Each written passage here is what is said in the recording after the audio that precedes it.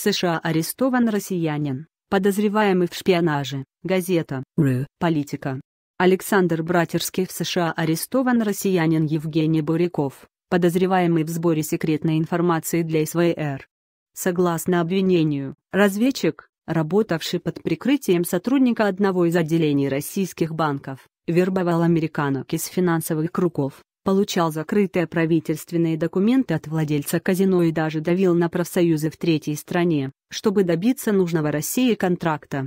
Сам Буряков свою вину отрицает. Германия выгнала хорошего друга Германия пошла на беспрецедентный шаг, выслав из страны представителя ЦРУ в Берлине. Это стало реакцией на второй случай шпионажа сотрудников. Американские власти заявили поздно вечером в понедельник, что Евгений Буряков предстанет перед судом.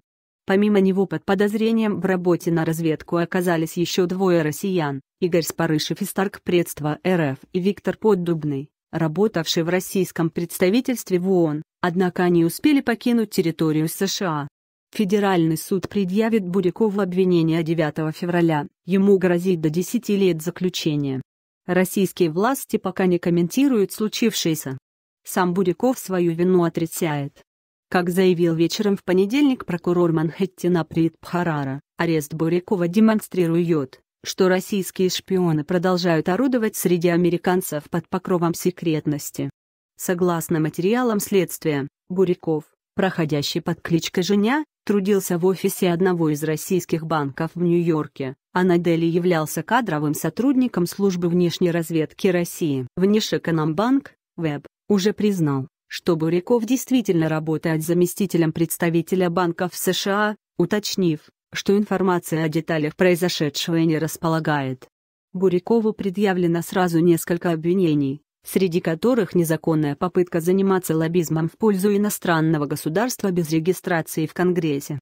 Речь идет о пресловутом акте о регистрации иностранных агентов, ФАРА, на который ссылались российские законодатели, принимая закон об НКНУ, иностранных агентах, хотя на самом деле принципиально изменили его. Кроме того, Бурякова обвиняют в попытке завербовать американских граждан, в документе упоминаются две женщины, одна из которых работала в финансовой компании в Нью-Йорке. По версии следствия, Буряков и его подельник Игорь Спарышев из Торгпредства РФ встречались несколько раз с марта 2012 по сентябрь 2014 года для обмена полученной разведывательной информацией. Документы они называли билетами, хотя ни кино, ни театров, ни спортивных мероприятий не посещали. Одно из дел, которое курировал Буряков, заключалась в попытках помочь компании из неназванной третьей страны создать предприятие в России по производству самолетов. Сделки препятствовали тамошние профсоюзы, опасавшиеся потери рабочих мест собственными гражданами, и в задачу Бурякова входило добиться их согласия. Стоит отметить, что ранее Владимир Путин заявлял, что защита экономических интересов российских компаний входит в задачи разведки. Буряков, как утверждается в обвинительном заключении, также встречался в городе Атлантик-Сити с бизнесменом, который планировал открыть казино в России.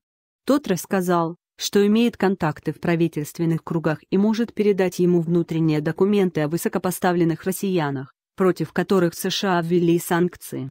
Он отдал ему и закрытые данные о российских банках, находящихся под санкциями, однако на этом документе не содержалось грифа «секретно».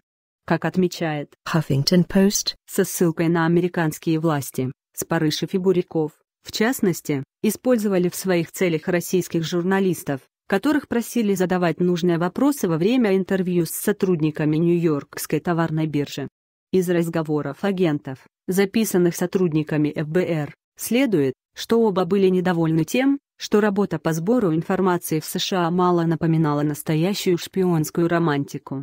Я думал, что поеду за границу под чужим паспортом, говорил Спарышев, очевидно, мечтавший о карьере разведчика-нелегала. Зато выглядел Спарышев как настоящий мачо и даже походкой напоминал Шварценеггера, вспоминают в разговоре с газетой, знавшие его российские дипломаты. Он также поощрял интерес старшего сына к военным играм. Девятилетний мальчик учился хорошо, нарос достаточно агрессивным. Одна из родительниц вспоминает, что Спарышев-младший, обозлившись на одноклассников, угрожал сделать бомбу и взорвать школу.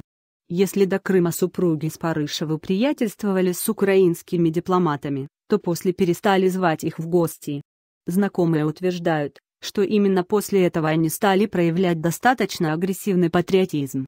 25 лет за провал Анны Чапман полковник Александр Потеев, сдавший сеть российских агентов в США, заочно приговорен к 25 годам заключения. Отбывать наказание ему вряд ли придется.